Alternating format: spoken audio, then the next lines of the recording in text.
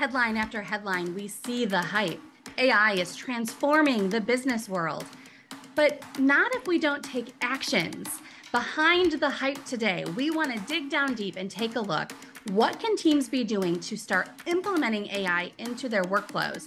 Because I don't know about you, but I don't want it to just be hype. That increased efficiency and profitability sounds pretty good.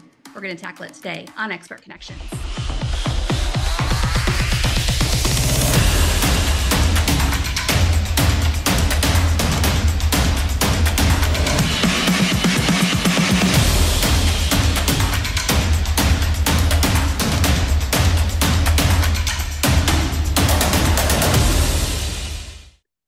Every business is looking to increase profits and make their their teams their workflows more efficient we know ai is a tool to do this but the big question is how do we start using it and how do we get our teams to use it Welcome to Expert Connexions. I'm Julie Holton. Let's get right to our expert today, Dave Smith of Amplify Labs AI. Dave, you have been been on this show a number of times talking about AI tools. You also have a vast history of going into workplaces and helping them become more efficient. So today I want to combine the two topics. How do we actually start implementing some AI tools, some AI practices to make workplaces more efficient? First question, where do we start?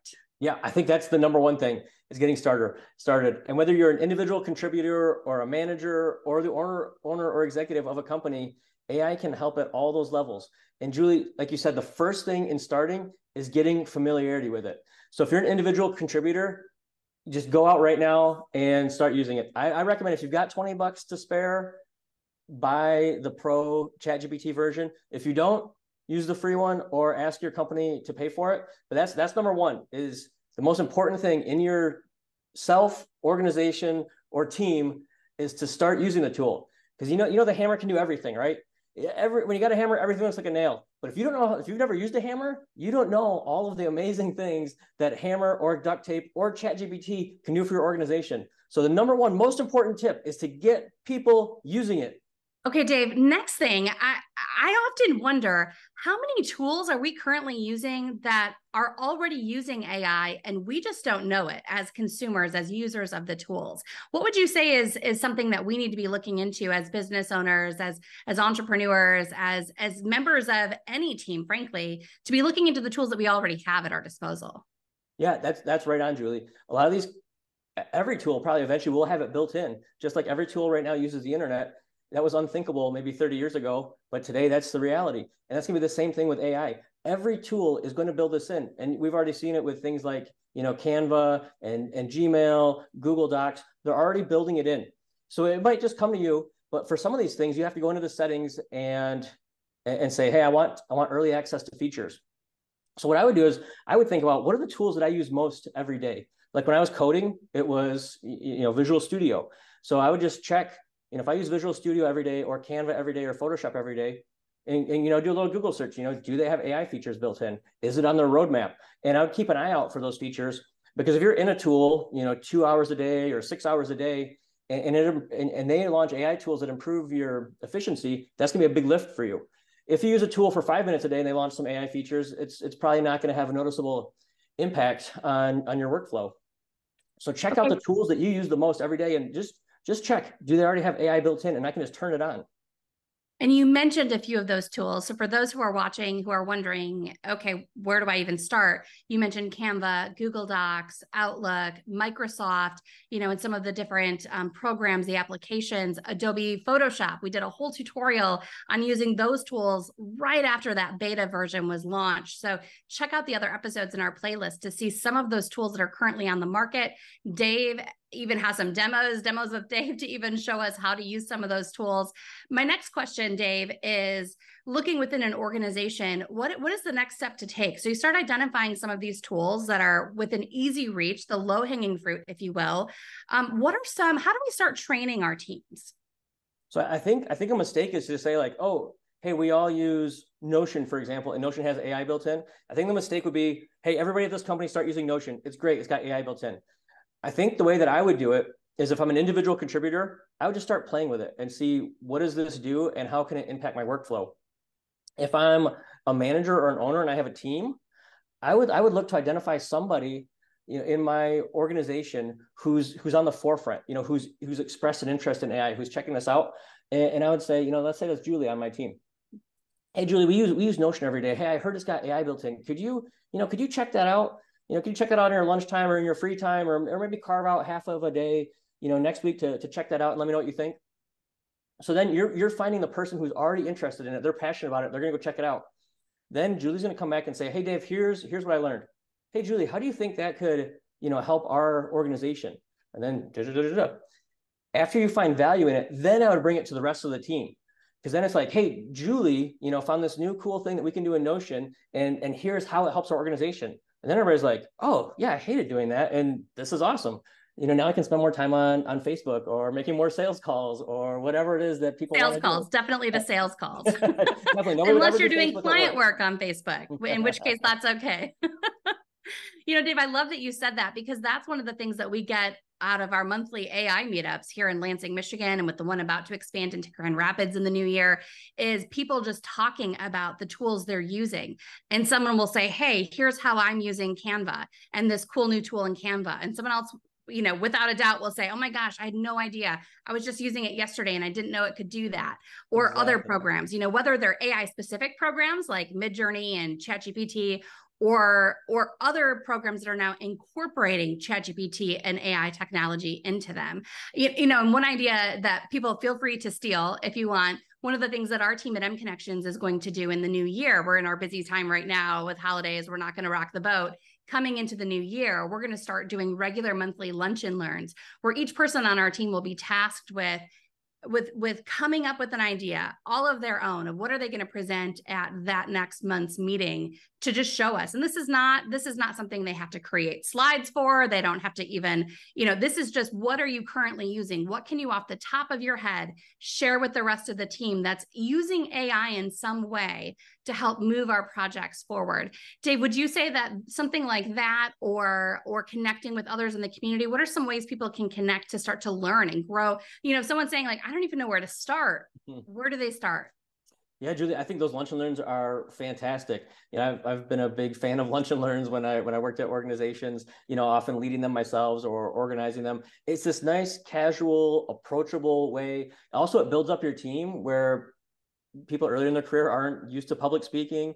I hated public speaking at the beginning, and that, that's a, a great way, you know, to not only you know build those skills of you know researching and presenting, you know, developing the person, but also you know great learnings for the organization and and just trying things out. You never know what's going to come out of those things. I think one of the realities, Dave, for business owners, um, or maybe even managers, different different level managers, AI will only be a helpful resource if employees and teams start using it and implementing it. You and I were having a discussion off camera before the before the recording started and and you were saying that it can't just be like a top-down initiative where we're forcing people to adopt programs that will only go so far. So what do you recommend as an alternative to that? How do we encourage people to be using AI? Yeah, I think it's about, you know, more carrots than sticks. So, you know, on the carrot side, you were talking about training. You know, I think offering up, hey, does anyone want to go to training? I, I, also, having people attend conferences. It seems like a lot of associations and conferences. AI is a big topic. Everybody's interested in it. They've heard they've heard that it can do amazing things. But you know, what's what's the hype and what's the reality? And and so conferences, things like that, are ways that people can really learn. And you know, there's industry specific tools. So there's probably AI tools. For, I know that for sure there's AI tools for legal for the legal field. So if you're a lawyer or anything like that, you know there are um, I think it's casetext.com. You know they have integrated AI you know into their product. So that's industry specific. Then there's also like job function specific AIs. So you know there there are tools to help um, you know marketers and salespeople and graphic designers and coders and all of that. So there's a couple areas that you can look at to see you know where can I get a, a lift in the organization. And, and then what you're talking about too in terms of instead of just saying, hey, everybody's got to use this, you know, other carrots are ways that you can offer like a learner of the month recognition where, you know, you're having your lunch and learns, or maybe people are sharing at the end of each week, here's the most interesting thing that I learned about ChatGPT or some other AI tool, or here's how it helped me the most. And then you as the you know manager or owner of the organization you're you're looking like what's you know what's super helpful? What's going to move the needle? And and so you can share out every month and say hey you know julie's our learner of the month. Here's here's what she shared when you do that, you know, Julie's getting getting lifted up in front of the whole company, in front of her boss. Maybe that's going to show up on her um, those things called employee performance reviews, those kinds of things. And, you know, employees are going to take notice of that and say, hey, you know, this organization cares about processes and efficiency and effectiveness. I think it also helps a lot with quality of life. You know, a lot of these tests that get automated, it's stuff people don't, don't like to do. I was naughty about 20 years ago. You know, the, my, my boss wanted me to fill out, I don't know, hundreds of papers and put them into a system.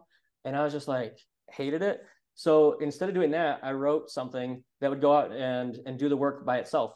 So, you know, in about two and a half minutes, I could do like a thousand hours of, of work. And so, you know, great win for the organization, but also great win for me because that was fun for me. Typing data into the system was not fun for me. So yeah, I think AI is also great for, you know, employee satisfaction.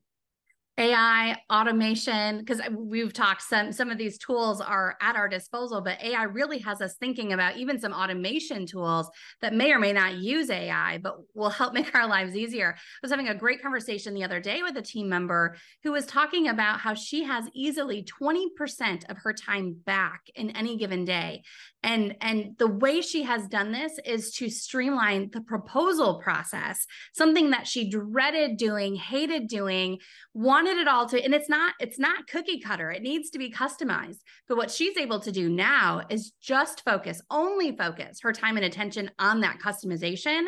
And she's able to use some different tools that and workflows that are built into their system now that help to identify along the way common questions and commonalities where those proposals can use AI technology to write themselves essentially. And of course, still have the human review, but it has taken that blah out of the process for her, which I think we can all agree everyone has a blah somewhere in their workflow and in their process.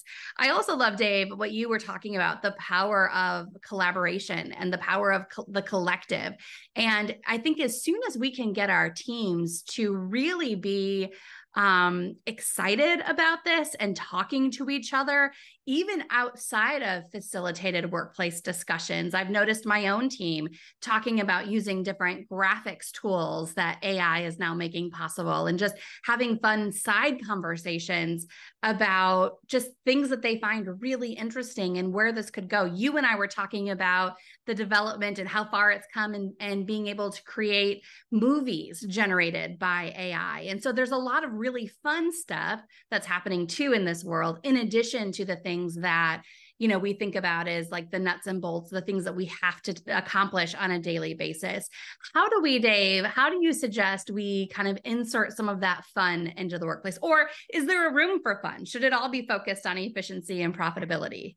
No definitely not all focused on profitability and efficiency unless that's your company's jam because sometimes Unless that's fun. sometimes that's what we want. I was in Toastmasters about uh, 12 years ago, and I was in a group, and we were focused. Uh, and, and, I was at a regional event, and they were talking about how they love their Halloween parties, and they love that they didn't have to give a speech for two years. And I was like, "Oh, that sounds horrible." And, you know, we were there at I don't know six six in the morning, I think seven in the morning. I don't know. We were there early, and, and know, it was you're giving speeches, and there's no parties, but that's exactly what I wanted. So, but I think for most organizations, you want some fun in there, and and I think you can bring that in, you know, into the uh, you know when you're recognizing the person of you know the, the AI learner of the month or of the week.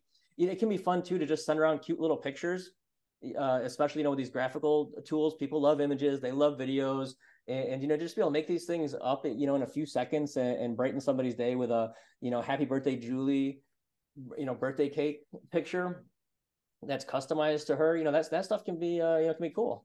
I love it. I love birthdays. I love birthday cakes. Bring it on, team. You, you know, another fun one could be to uh, you know impersonate your boss. You know, with these uh, you know video cloning and voice cloning technologies, and uh, what's, what's it when you have like that roast, you know, the roasts that people do. Uh, you, you know, some kind of plays plays on that for everybody who has a cool boss. If you have a, if you have a not cool boss, yeah, maybe don't do that. or one that that frankly is worried about security too. I mean, we I, mm-hmm. I, think this is where we also kind of mention that it's important for workplaces to be de- developing those AI policies and procedures, just like you have for every other aspect of work. You want to set, Dave, would you say that they should have, we should have at least a general guideline on how to use or not be using AI in the workplace? Are there safety precautions or other considerations that businesses should make? Yeah, I mean, as much as I hate to say it, you know, that's that's the no fun part of things. Yeah, people should definitely look into you know, what are the are the rules around the rules laws to, to be applied up to comply with? You know, Taylor Gast did a great talk on that earlier this year. I'm not the best at that, but you know, make sure that you know dis- any discrimination when things are computers are doing things, you know, in the hiring practices, uh, you know, uploading information into ChatGPT, you know, that can be leaked and that can be a violation, a fireable offense at some companies, and uh, and then ownership of IP. I don't I don't keep up on that, but uh, you know, there's there's definitely questions about the when you generate images or code with AI, who owns that? Uh, last I knew, it was that it was you couldn't own it. Uh, you, so yes, that's important yes, to own those assets. But but I know that's I'm, an ongoing that's an ongoing issue, and I'm sure it'll be litigated. So you know, we got to keep abreast of that stuff. Yes, and I'm glad you mentioned Taylor Gast of Foster Swift. He's been an expert here on the show, so we will link to that definitely keep up with those regulations. And I think it's it's safe to say that, especially if we're encouraging our teams to be using AI, just like any technology, we have requirements in place for computer usage, for internet usage, what's allowed on company property, what's not, what's allowed through company email, what's not. The same should be should be said about AI. And really, I'm not an attorney either, Dave, but really looking at this from the standpoint that we always want to lay out very clear and defined expectations for our teams. And this is just one of those ways. So, especially as we're encouraging them to adopt new workflows and to reach out and explore new tools, that should be something that we are considering. I wonder though, my last question for you is this going to be a budget breaker? We're coming up, or uh, budget planning is probably done for the new year. And so, for those who are listening and they're thinking, how much do I need to invest in order to get my team on board? What's your answer? Is this a budget breaker? No way. Uh, 20 bucks, 20 bucks a month. I tweeted out a few months ago. I don't, I don't even use it to make money. I just use it to help in my, you know, daily life. And, and when I pay that $20 a month, I'm like, this is the best, this is the best investment I made this month you know, if if I had um, a team and I didn't get a 30% plus lift out of them from AI. So, you know, if I'm paying people, I don't know, you know, 60, $100,000 a year, you know, I'd expect to get 20,000 to 30,000 plus in value out of them using AI. So yeah, it would be a no brainer for me to, you know, spend a thousand to $2,000, maybe even 10, you know, per employee to, to get that value. But, you know, I think it's, I think it takes, it takes work, you know, it takes having processes and you know, without AI, I was very effective at implementing processes, improving processes, driving efficiency. And man, I wish I had a team to you know, you know turn AI loose on. We, I think we'd see productivity productivity skyrocket stay tuned for that team from Dave Smith. Dave, thanks for being on the show. Amplify Labs AI. We always appreciate you with your insights and your demos. If you are looking to learn how to use ChatGPT, if you upgrade to ChatGPT 4 and pay the $20 a month, or if you're using the free version, you can head over to our AI playlist for more demos from Dave. Dave, thanks for being on the show. Thanks, Julie. That's all for this episode of Expert Connexions. I'm Julie Holton. We'll see you next time.